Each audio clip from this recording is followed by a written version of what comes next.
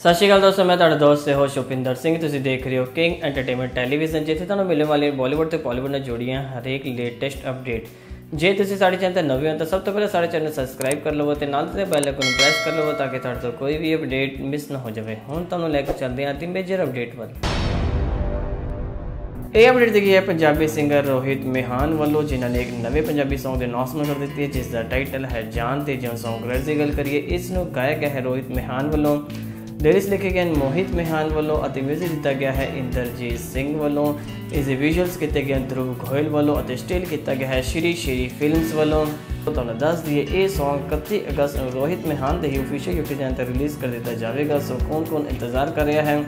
ਰੋਹਿਤ ਮਿਹਾਨ ਜੀ ਦੇ ਇਸ ਨਵੇਂ ਪੰਜਾਬੀ Song ਜਾਣ ਦਾ ਸਾਨੂੰ ਕਮੈਂਟ ਸੈਕਸ਼ਨ ਵਿੱਚ ਜ਼ਰੂਰ ਦੱਸਿਓ। ਸੋ ਕਿਵੇਂ ਲੱਗੀ ਤੁਹਾਨੂੰ ਸਾਡੀ ਅਪਡੇਟ ਤੁਸੀਂ ਲਾਈਕ ਸ਼ੇਅਰ ਕਮੈਂਟ ਕਰਕੇ ਜ਼ਰੂਰ ਦੱਸਿਓ ਅਤੇ ਜੇ ਤੁਸੀਂ ਵੀ ਸਿੰਗਰ ਰਾਈਟਰ ਐਕਟਰ ਜਾਂ ਫਿਲਮ ਇੰਡਸਟਰੀ ਨਾਲ ਕਿਤੇ ਨਾ ਕਿਤੇ ਜੁੜੇ ਹੋਏ ਹੋ ਅਤੇ ਤੁਸੀਂ ਵੀ ਆਪਣੀ ਇੰਟਰਵਿਊ ਕਿੰਗ ਐਂਟਰਟੇਨਮੈਂਟ ਟੈਲੀਵਿਜ਼ਨ ਤੋਂ ਕਰਵਾਉਣਾ ਚਾਹੁੰਦੇ ਹੋ ਤਾਂ ਤੁਸੀਂ ਡਿਸਕ੍ਰਿਪਸ਼ਨ ਦਿੱਤੇ ਨੰਬਰਾਂ ਤੇ ਕਾਲ ਕਰ ਸਕਦੇ ਹੋ।